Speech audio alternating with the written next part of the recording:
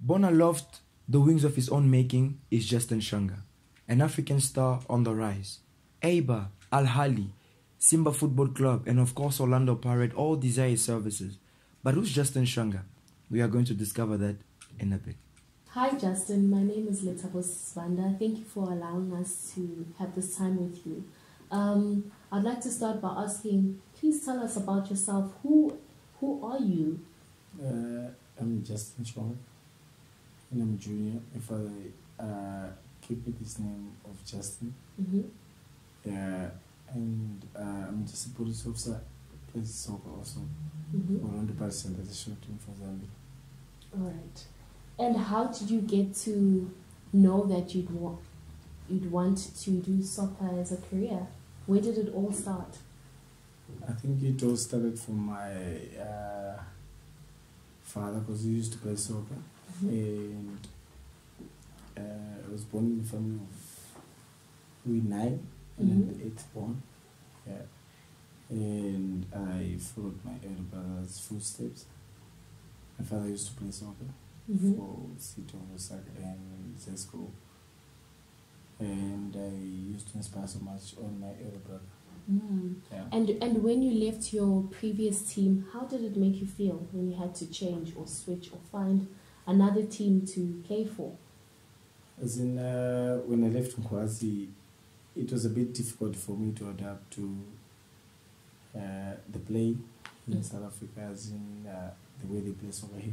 Mm-hmm. The Absa Premiership because I left the MTN Super League in Zambia. Mm-hmm. And it was like, Drastic uh, change. yeah, it was a drastic change because it was so quick. Because I didn't even spend about two years in Nkwazi, but I spent uh, one year and a half. Okay. And how is it playing for Pirates now? How do your mates inspire you? How do you, what kind of a fellowship or relationship do you have with them? My mates are my fellow players there by, by, by Pirates. They encourage me so much. As in, I used to watch them on TV. Mm-hmm. Yeah. Even when I was at school, I used to watch them on TV. Like when they were playing, I used to inspire so much. Like as in, I want to play for one of the biggest club in Africa. And that has helped you grow Yeah, that has it. since then. What advice would you give to your younger self if you were to go back and reflect? I think I would say, uh, in life, everything is not easy. Mm-hmm. yeah if you focus and then you work so hard and then everything will go your way and uh, for you to make it in life you have to put an extra effort Mm-hmm. in everything that you do in life so i just have to say as in it's not so easy Mm-hmm. yeah for you to make it in life and uh, you've got also the young ones who are looking up to you Yes. yeah so you just have to inspire them so much and then you have to keep focused Mm-hmm. and work hard On that note, what's your daily motivation? What keeps you going? i think it's my family and my daughter the Mhm. one i have uh, by the name of faith Mm-hmm.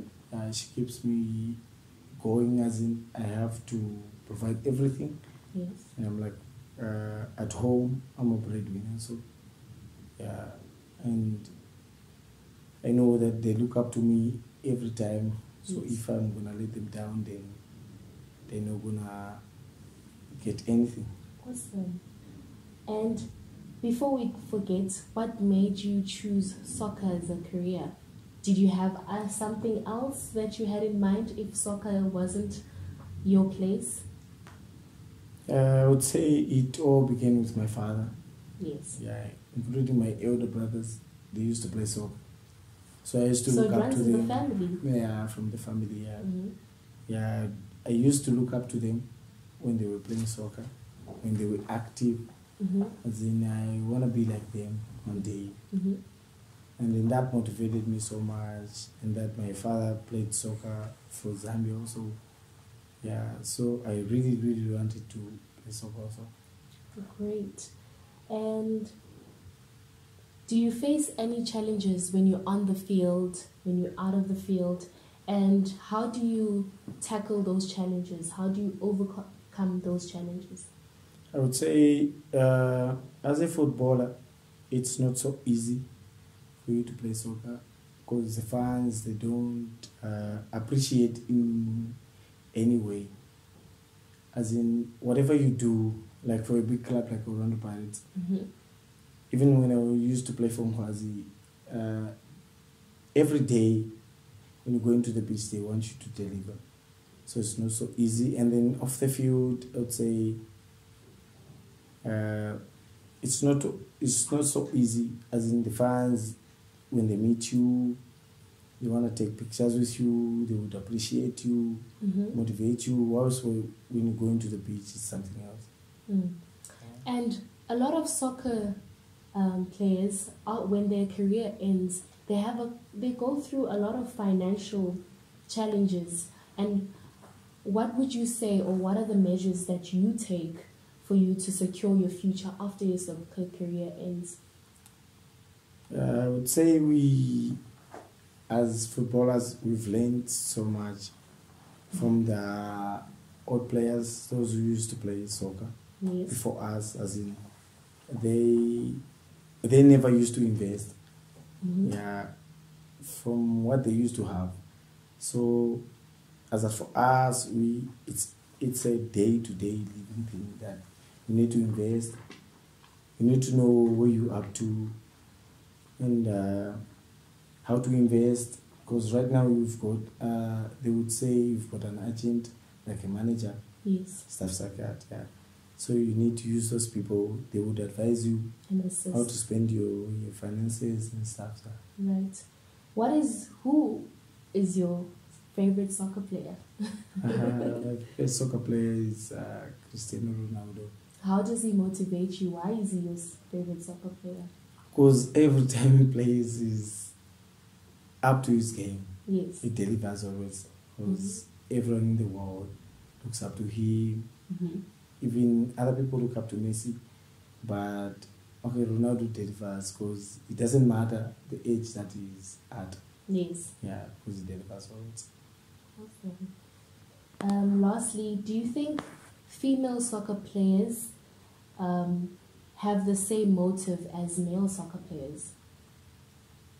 Yeah, I would say, but there's a difference between us and the female. Why is there difference? What is that difference?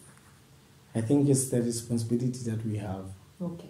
Yes, uh, as in us male footballers, hmm we hate everything.